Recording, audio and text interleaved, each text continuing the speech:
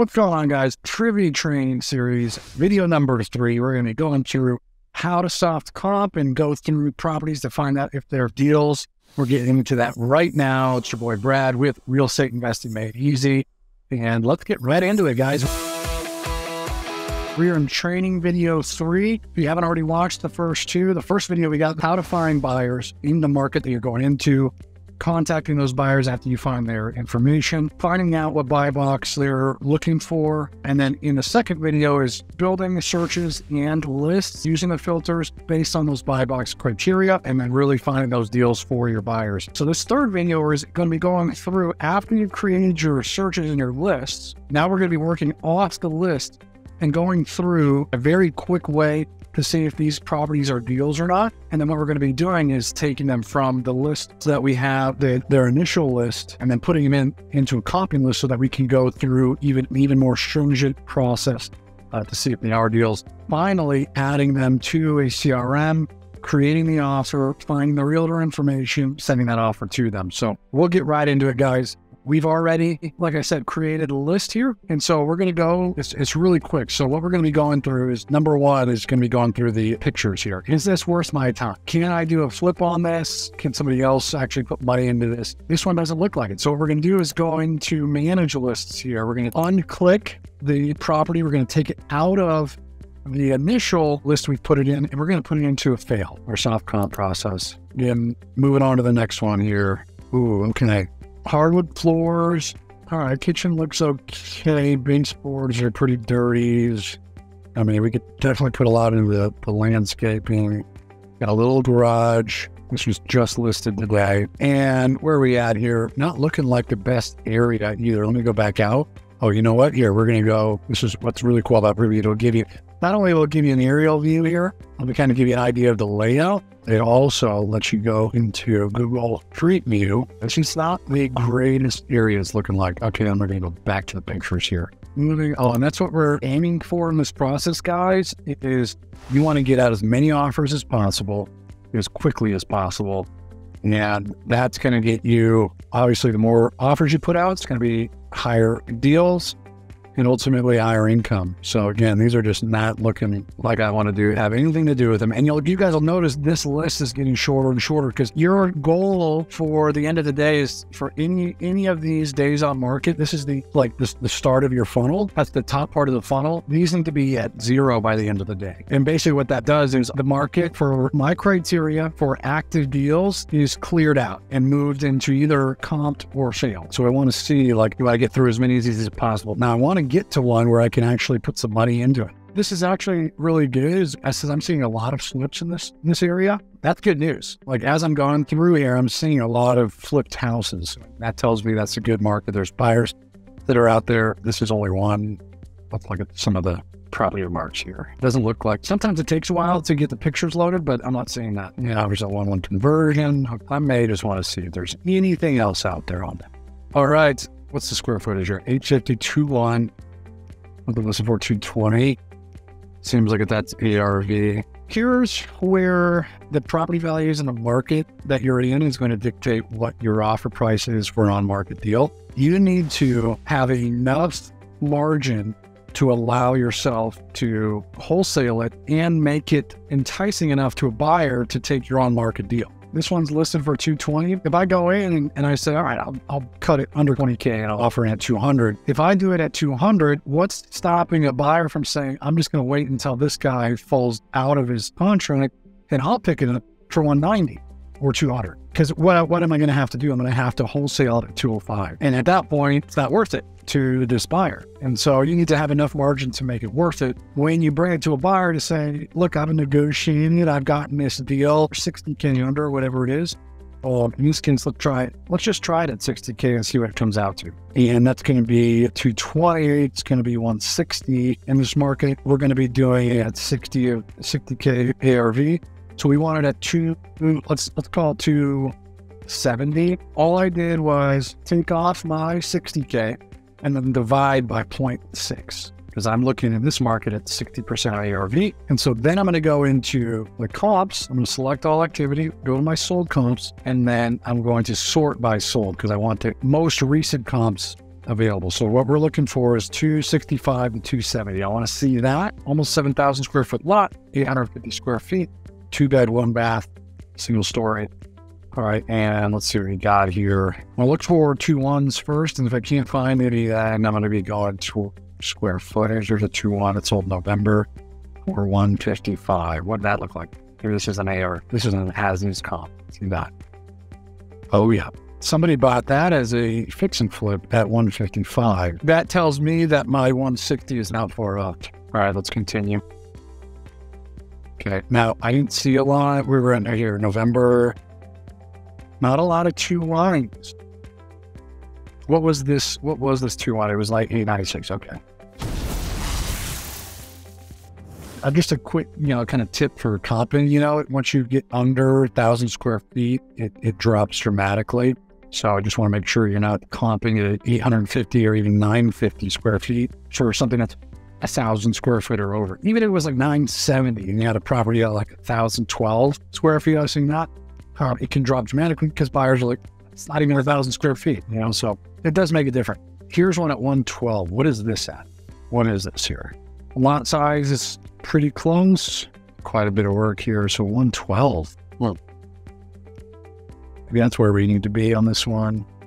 We, we don't have any pictures. That's really, you know, quick. We're not going to do a deep dive on MIC 260 for a 2-1 at 850 square feet. Let's just let's just sort it by square foot.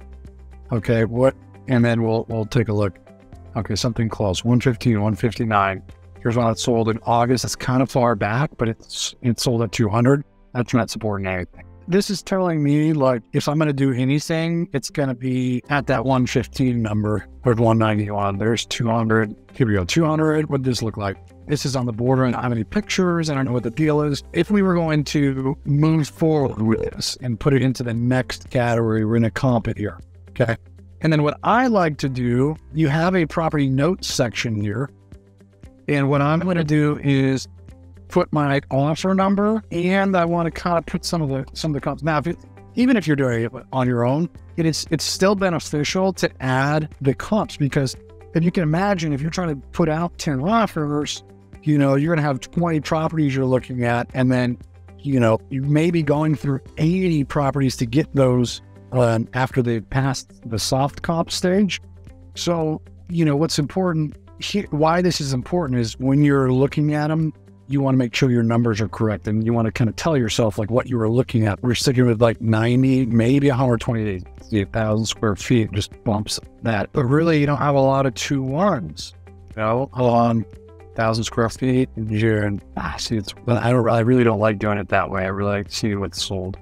Thousand square feet. Maybe take 10% off for it being over. So we're at 247. Okay. Let's see what this one looked like. Was this a flip? I put some money into it. It looks like it's a lived in remodel. And that may justify a higher offer number, you know, which will increase your chances of getting it.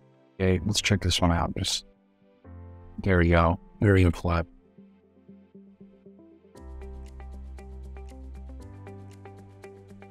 Real, real quick, guys. Too, just make sure you. And I've done this before when I've added comps to the list, just not paying attention. Make sure you back out of the property card that you are comping make sure you're in the property that you actually want to be in. And then we're going to add that. Okay. All right. So moving on. This should be a quick process. We're not trying to, you know, do it real hard analysis. We just real quick. Okay. Can't put money in just flooring, paneling, probably knock down that wall if it's not a low barrier, kitchen, man, look out of a. You guys ever seen that? The last time? That's like 60s, 70s. Man, it was like a time warp here. Okay, what do we got? 3,000 square feet, five bed, three bath, 675. Okay, these are, I'm in San Diego, not the San Diego, this is closer to what I'm actually used to. So 675, we're going to take off 100. Okay, so we're at 575. 8.65, 884, or let's just call it 885. That's comps I want for this. And look at that swing. We've got a $4 million property and we've got a 450 and 550. Okay, here's where we can use some of the other tools. I'm going to draw year.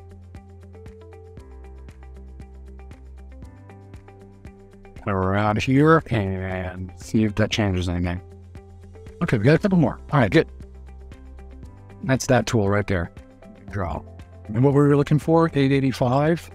Nowhere close to that. Nothing. What are these? First off, what does our view look like? Do we have a view? Where are we at? Just back it off a little bit, closer to the water. Well, we're like a street off. So we're not on the water, but man, we are like right off these docks. Okay. And let's take a look at this one. All right, right out of dock so that we can immediately just throw that out. So yeah, this one's going to be a no-go, guys, and we're moving on. One more deal. All right, we can do the kitchen. We can do some of the flooring, bathrooms. Cool. 425, we're taking off 85 off of that. 340 divided by 0.6, we're at 565 to 570. Those are the comps we need to hit. 565 to 5. Now here, now again, we're going to do this. We're right here. So, okay. Here's what I want to do. Okay, I don't want any on these docks over here or anything. Okay, here we go. You see how that, yeah, drastically changed those? I have seen like million dollar price points. Okay. 3 2, almost identical lot size, double the size. Dang, that would have been nice. 960, area we 995. No, 3 2, 1250.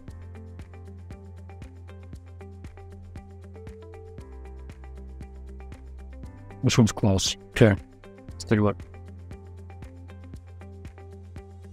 Kitchen flip, no bathroom. Go back here, that was 540. We need to be at 565 at least. I'm just not seeing it. 930, they had a bunch of, a bunch of, bunch of, wow, I lucky deal that was.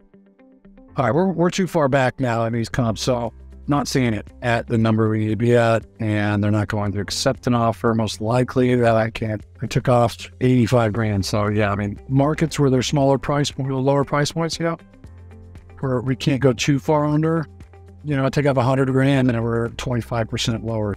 Well, you guys get the picture, okay? So as we're going through here, again, we're just going to go through until we clear that. We're going to go into our next step, which is going to be into our comps We'll show you guys how to find the realtor information, what I'm going to do after I've, I've really comped it, add it to the CRM, and how we offer those. So I will see you on the next videos. Please, as always, like, subscribe, and hit that notification bell for our upcoming videos. If you guys want to see more content, that's how you guys support the channel. Does us a big favor and it's you know really helpful, guys. So I'll see you on the next video.